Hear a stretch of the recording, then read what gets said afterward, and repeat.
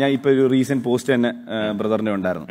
അപ്പം ആ ഒരു പോസ്റ്റിന്റെ ഒക്കെ പുറകിൽ ഒരു സങ്കടമാണോ അതോ ദേഷ്യമാണോ? അങ്ങനെ ഓപ്പർച്യൂണിറ്റി നമുക്ക് അങ്ങനെ ലഭിക്കാതെ വരുമ്പോ?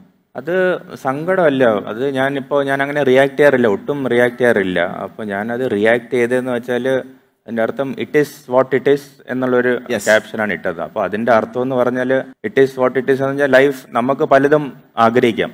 നമുക്ക് ഇന്ന് ഇവിടെ ഇരിക്കുമ്പോൾ എനിക്ക് നാളെ അത് ചെയ്യണമെന്ന് ആഗ്രഹിക്കാം അല്ലെങ്കിൽ നാളെ അതായി മാറണമെന്ന് ആലോചിക്കാം. പക്ഷേ ലൈഫ് നമ്മുടെ പ്ലാൻ അനുസരിച്ച് പോകണമെന്നില്ല. Sometimes we have to just accept it is what it is നമുക്ക് ഇനി മുന്നോട്ട് പോവാം. ഇനി പോസിറ്റീവായിട്ട് അതിനെ കണ്ട് മുന്നോട്ട് പോകും. ഞാൻ ആ രീതിയിൽ അതിൽ സങ്കടവും ദേഷ്യവും അല്ല അതിന്റെ ബാക്കിൽ അപ്പോൾ ഇത് ആദ്യമായിട്ടല്ലല്ലോ. നമ്മൾ ഒരു ക്രിക്കറ്റ് ആകുമ്പോൾ ഒരു കരിയർ ആകുമ്പോൾ അല്ലെങ്കിൽ ബ്രോന്റെ തന്നെ കരിയർ ആകുമ്പോൾ we will definitely go through lot of challenges തീർച്ചയായിട്ടും. നമുക്ക് പലതും വരും. പലതും നമ്മൾ വിചാരിക്കുന്ന പോലെ നടക്കും.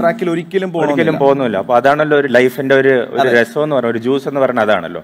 അപ്പൊ അതിലൂടെ നമ്മൾ പോകുമ്പോൾ ഒരു രസമാണ്. അപ്പോൾ നമ്മൾ ഇന്ന് വിചാരിക്കണ പോലെ നാളെ എല്ലാം നടന്നു തുടങ്ങിയ പിന്നെ ഒരു ബോറായി മാറൂലേ.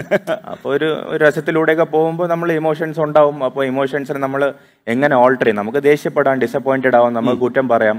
പക്ഷെ എനിക്ക് ഞാൻ ചെറിയ പ്രായത്തിൽ എന്റെ മുകളിൽ ഫോക്കസ് ചെയ്യാനാണ് ഇഷ്ടം. ഇപ്പോൾ നമ്മൾ റിസൾട്ട് ആഗ്രഹിച്ച റിസൾട്ട് വന്നില്ല. അപ്പൊ നമുക്ക് ഭയങ്കര നോർമലാണ് നമ്മൾ ആ അത് കാരണം എനിക്ക് വന്നില്ല അല്ലെങ്കിൽ അയാൾ കാരണം വന്നില്ല അല്ലെങ്കിൽ അവർ സിസ്റ്റത്തിന് നമുക്ക് എല്ലാവരെയും പറയാം. പക്ഷെ എന്റെ ഒരു ശീലം ചെറുപ്പത്തിലെന്ന് വെച്ചാൽ എന്റെ ലൈഫിൽ എന്തെങ്കിലും എനിക്ക് നടക്കാതെ നടക്കാതിരിക്കുന്നുണ്ട്. അപ്പോൾ ഞാൻ ഫസ്റ്റ് ഏറ്റവും കൂടുതൽ പിൻ പോയിന്റ് എന്നെ തന്നെയാണ്. ആ. ഞാൻ എന്തോ എന്ത് കുറവ് ചെയ്തിട്ടാണ് എനിക്ക് അത് കിട്ടാതെ പോയത്. ഞാൻ ഒരു ഹൺഡ്രഡ് അടിക്കുന്നുണ്ടെങ്കിൽ എന്തുകൊണ്ട് ഞാൻ ടു ഹൺഡ്രഡ് അടിക്കുന്നില്ല? എന്റെ ഫിറ്റ്നസ് ലെവൽ ഇതാണെങ്കിൽ എന്തുകൊണ്ട് ഞാൻ അതിനെ അപ്ഗ്രേഡ് ചെയ്യുന്നില്ല? അപ്പോൾ എപ്പോഴും ഞാൻ എന്നെ തന്നെയാണ് നോക്കുന്നത്. നീ എന്തുകൊണ്ട് അത് എത്തിയില്ല? എന്തുകൊണ്ട് ഇനി നമുക്ക് എന്തൊക്കെ ബെറ്റർ ആക്കാം? അപ്പോൾ ആ ഒരു ശീലം ചെറുപ്പത്തിലെ ക്രിക്കറ്റ് എന്നുള്ളൊരു സ്പോർട്സ് എന്നെ പഠിപ്പിച്ചിട്ടുണ്ട്.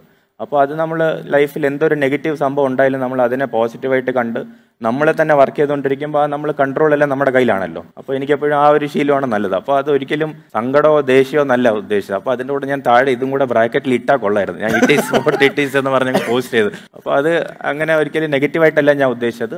Life has given you this you have to accept it and move on yes എന്നിട്ട് അതിനുവേണ്ടി വർക്ക് ചെയ്യുക കുറച്ചുകൂടെ പിന്നെ വലിയ ഓപ്പർച്യൂണിറ്റീസിന് വേണ്ടി കാത്തിരിക്കുക അതിനുവേണ്ടി വർക്ക് ചെയ്യുക എന്നുള്ളത്. ഉറപ്പായിട്ടും ഉറപ്പായിട്ടും. കൺസിസ്റ്റന്റ് ആയിട്ട് നമ്മൾ നമ്മുടെ കരിയർ മുന്നോട്ട് പോകുന്നു. എല്ലാവരും ആഗ്രഹിക്കുന്നത് എല്ലാ കളിയിലും ആ, സഞ്ജു സാംസൺ ഇറങ്ങണം എല്ലാ കളിയിലും നൂറടിക്കണം. ഒരു ക്രിക്കറ്റ് ഒരു പ്ലെയർ എന്നുള്ള നിലയ്ക്ക് ആ ദിവസത്തെയാണ് ആ ദിവസം ആണ് നമുക്ക് മാറ്റർ ആവുന്നുള്ളത് പലരും ആലോചിക്കരുത്. നമുക്ക് നമ്മുടെ പയ്യൻ എല്ലാ ദിവസവും നൂറടിക്കണം. അങ്ങനെ വരാതെ വരുമ്പോൾ ഒരുപാട് നെഗറ്റീവ് കോമെന്റ്സ് കിട്ടും. അതെ. അതിൽ നിന്നൊക്കെ ബൗൺസ് ബാക്ക് ചെയ്തൊരു നല്ലൊരു ഇന്നിങ്സ് വരുമ്പോൾ അപ്രീഷിയേറ്റ് ചെയ്യാൻ കുറച്ച് ആൾക്കാർ എന്തായാലും വരും. അങ്ങനെ വന്നതിൽ എന്തെങ്കിലും ഓർത്തിരിക്കുന്ന കോമന്റ്സ് നല്ല കമന്റ്സ് ഓർമ്മയുണ്ടോ? അല്ലെങ്കിൽ നല്ല ക്രിറ്റിസിസംസ് ആണെങ്കിലും ഓർമ്മയുണ്ടോ? ഉറപ്പായിട്ടും ക്രിറ്റിസിസം ഉറപ്പായിട്ടും ഉണ്ടാവും. അപ്പോൾ നമ്മൾ ഞാൻ ഭാഗ്യം കൊണ്ട് തിരഞ്ഞെടുത്തത് ലോകത്തിലെ one of the most famous സ്പോർട്ടാണ് ഇന്ത്യയിലെ ഒരു റിലിജൻ എന്ന കണക്ക് കൂടുന്ന ക്രിക്കറ്റാണ്